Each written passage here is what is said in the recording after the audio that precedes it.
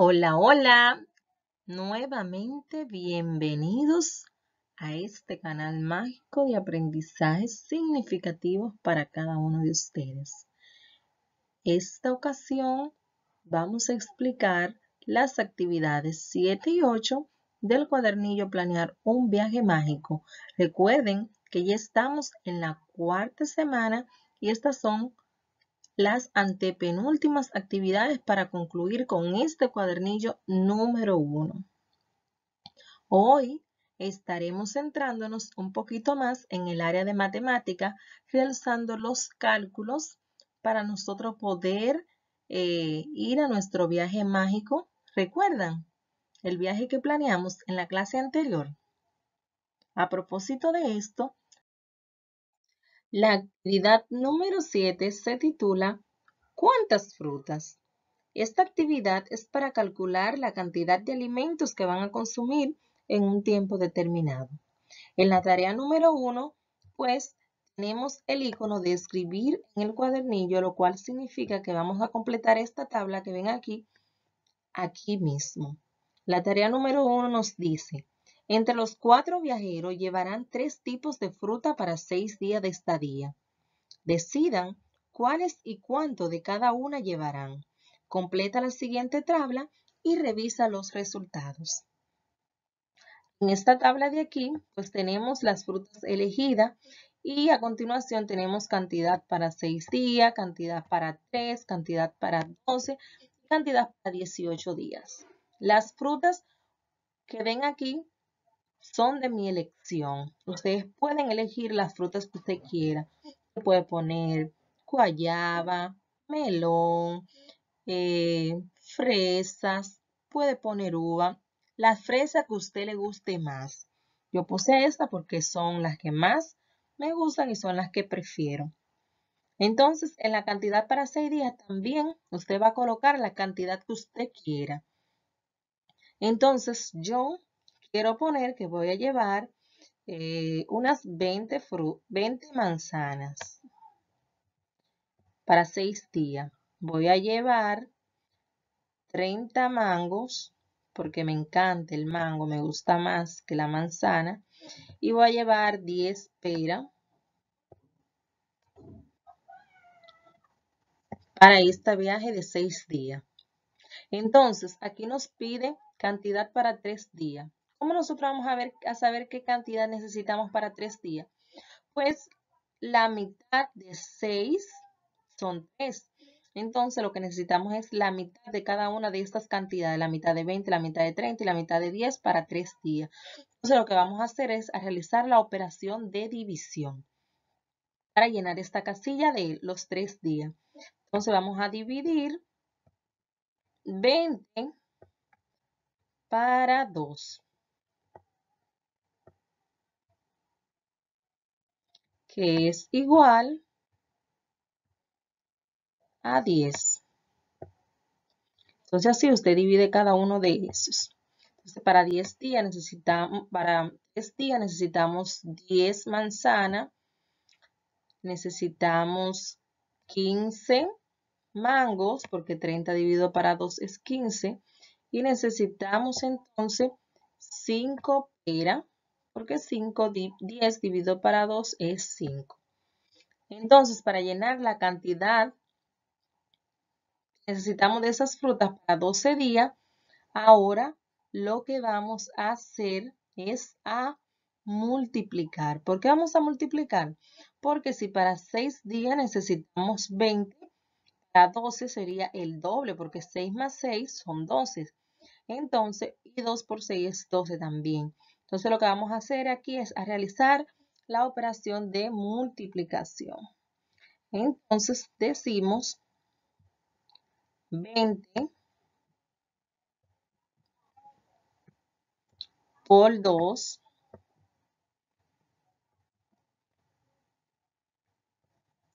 es igual a 40.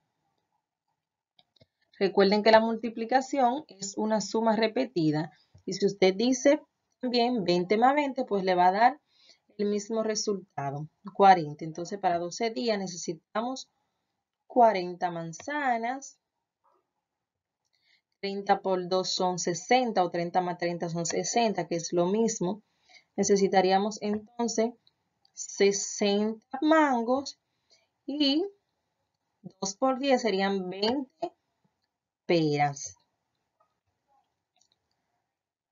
De igual modo, para saber la cantidad que necesitamos de esas frutas para 18 días, vamos a multiplicar ahora, pero en vez de 2 sería multiplicar por 3. Así que decimos entonces 20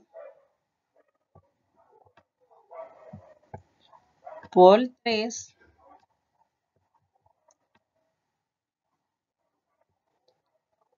igual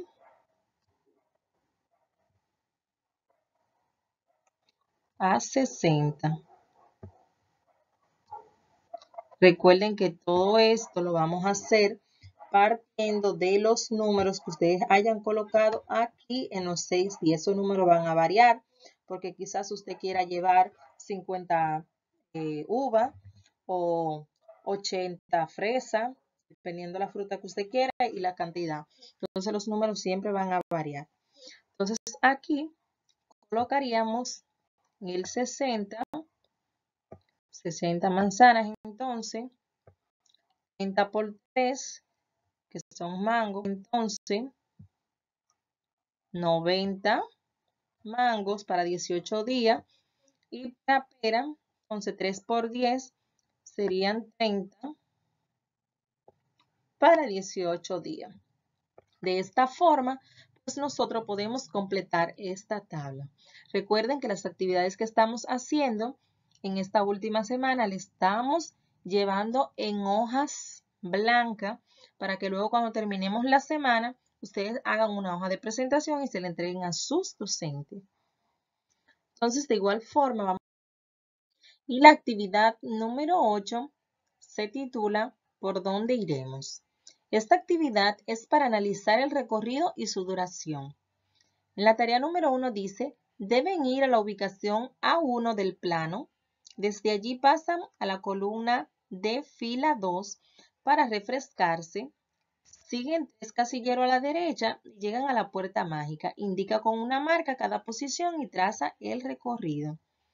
Bien, entonces de este lado tenemos las columnas que están representadas por letras mayúsculas y por aquí tenemos las filas representadas por números hasta el 4. Para poder resolver esta situación, lo primero que debemos hacer es llevarnos de las instrucciones e ir al punto número 1 que ellos nos indican hacer, el cual es ubicarnos en el A1. Tenemos columna A, fila 1, que es esto que está aquí, este punto. Luego, desde allí vamos a pasar a la columna D, fila 2. Esta es la columna D. Vamos a pasar a la fila 2, que es este punto aquí entonces. Luego, tres casilleros a la derecha. 1, 2 y 3. Aquí está entonces la puerta mágica. Luego nos dice que debemos trazar con una marca este recorrido. Entonces vamos a trazarlo aquí y luego lo trazamos así. Entonces esta imagen ustedes la pueden escribir en un papel cuadriculado, marcar los puntos, eh, trazar la línea y luego la vas a recortar y escribirla en la hoja número 3. No olvides que debes escribir el título de esta actividad que se titula ¿Por dónde iremos? Entonces, en la tarea número 2 nos dice los viajeros van caminando y tardan 10 minutos en recorrer 500 metros. ¿Cuánto tiempo en total usan para llegar a la puerta mágica si tardan un cuarto de hora en refrescarse? Observe el recorrido y la marca. Este segmento que ustedes ven aquí nos indica que hay 500 metros. Entonces, en cada uno de esos segmentos hay 500 metros. Lo primero que vamos a hacer es enumerar los segmentos para saber cuánto hay. Entonces tenemos 1, 2, 3, 4, tenemos 5, 6, 7, 8 y 9 segmentos. En cada uno hay 500 metros. Hay diferentes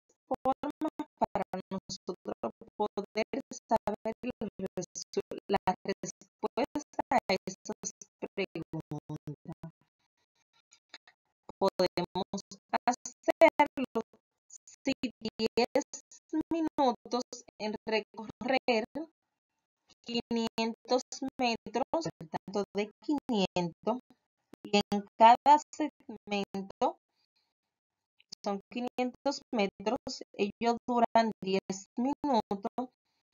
Entonces nosotros lo que vamos a hacer es calcular 9, que son la cantidad de segmentos, por 10, es igual a 90. ¿Pero 90 qué? 90 minutos. ¿Vieron qué fácil? 90 minutos. Ahora bien, eso es lo que tardan en recorrer los 500 metros. Pero si ellos tardan un cuarto de hora en refrescarse, ¿cuánto tiempo entonces durarán? Esta es la parte en la cual ellos se refrescan y duran un cuarto de hora. Recuerden que este reloj que está aquí, este círculo va a representar un reloj. Lo vamos a dividir a la mitad y luego lo vamos a dividir en cuatro para poder representar muy bien. Entonces, un cuarto de hora sería aquí en este lado. Entonces, un cuarto de hora serían 15 minutos.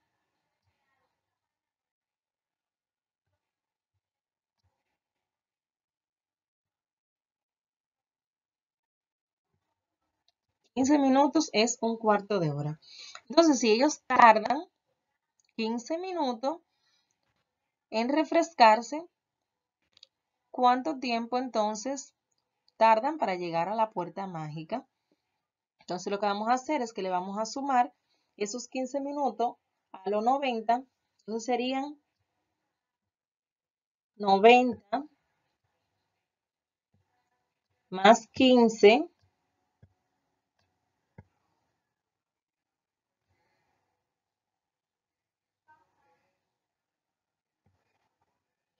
es igual a 105 minutos. ¿Y en hora cuánto sería entonces 105 minutos? ¿Cuánto sería en hora 105 minutos? Si una hora tiene, pues 60 minutos. Entonces 60 es una hora más 60 son 120. Entonces, podríamos decir que sería una hora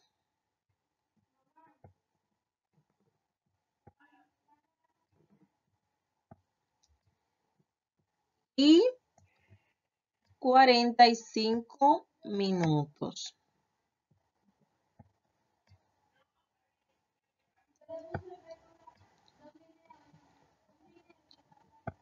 Recuerden, la M es minuto. Entonces, 90 más un cuarto que duran descansando son 105. En hora sería una hora y 45 minutos. Ese es el total que ellos tardan en recorrer todos esos metros y llegar a la puerta mágica que está en este espacio. Esto ha sido todo por el día de hoy. Espero que hayan comprendido un poquito más acerca de todos estos cálculos matemáticos y pues continuamos en un próximo video. No olviden suscribirse a mi canal y dar clic a la campanita para que les lleguen las notificaciones. También pueden compartir mi video con otras personas para que ellos también puedan entender fácilmente sobre esas actividades.